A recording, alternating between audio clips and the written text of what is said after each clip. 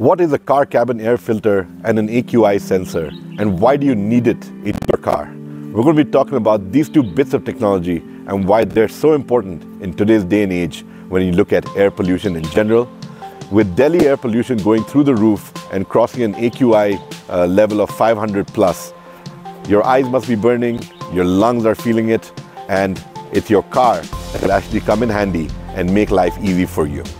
My name is Vikram Gore, you're watching Motorscribes, and in this video, we're going to be talking about cabin air filters and an AQI sensor as the tech that you need to know about.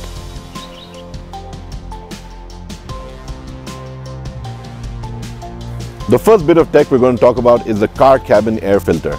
This little bit of tech is connected to the HVAC system in your car, which is your heating, ventilation and air conditioning system. And uh, the unit sits uh, right uh, within that system and it ensures that the outside air gets nicely filtered and uh, does not let uh, particulate matter, especially the hazardous 2.5 ppm version, get inside the cabin. It's either made of engineering cotton or uh, the higher end version is made out of activated charcoal. So both these elements, they work to cut out uh, particulate matter and ensure that your cabin air remains nice and fresh. It sounds simple, but a lot of work has gone into it. A lot of manufacturers have worked hard at it to ensure that uh, they're able to control in-cabin air uh, quality and give you a healthy breathing environment while on board inside your vehicle.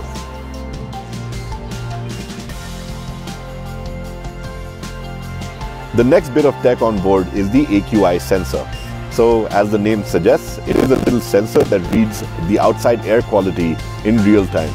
So it's constantly monitoring uh, what the air quality level is and accordingly uh, triggering the Climatronic unit inside the vehicle to ensure that uh, filtration is happening at the right time and is keeping that air quality on board nice and fresh.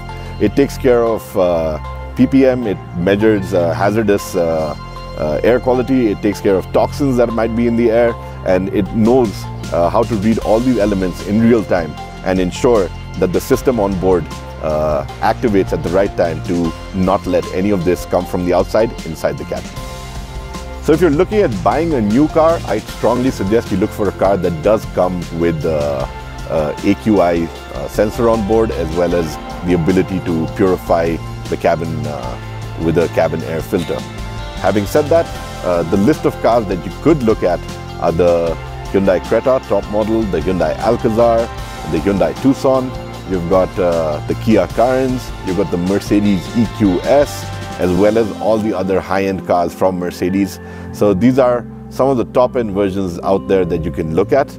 Obviously, uh, they, this is new tech. It is stuff that's coming out in top-end versions. But hopefully, as we move forward, we'll see more and more cars coming with uh, these filters uh, and uh, sensors fitted into them. As we move towards electric, does it still make sense to have it? Yes, because cars are not the only source of air pollution out there. Uh, we do know about uh, Delhi's air quality getting triggered by uh, burning farms and Diwali crackers, all of which is trying to be controlled, but we're still a while away from bringing the AQI naturally down to healthy levels. Currently, Delhi is at about 500 on the AQI index, which is extremely hazardous, extremely high. So yeah, keep that in mind, that your car could help you breathe better in these harsh times. So with that, I hope you get to uh, have a broader understanding about uh, cabin air filters as well as an AQI sensor and why it's important in today's day and age. And uh, thanks for watching this video. Don't forget to like, subscribe, and share this video with friends and family.